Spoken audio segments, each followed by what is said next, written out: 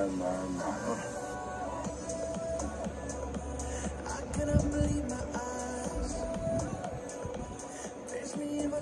that is a woman that's worth falling out of plane for.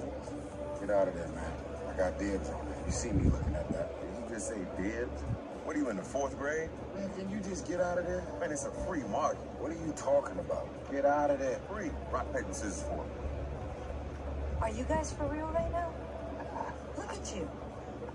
Look at you. You both look whooped already. Got stalker eyes. I tried to call dibs on Ramsey two years ago. Ernie, my balls. you don't want to do that. Hey, Ramsey. Hello, Safar. See, you make some new friends. Yeah, some short-tempered new friends. I need the speed drive I sent you. Where is it? Oh, good. You will be pleased to know I sold it. You sold it. You hear that?